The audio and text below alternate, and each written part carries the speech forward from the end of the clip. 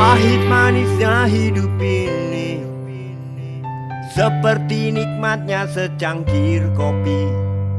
Dikala lelah kau bekerja Kopi selalu bisa buat bahagia.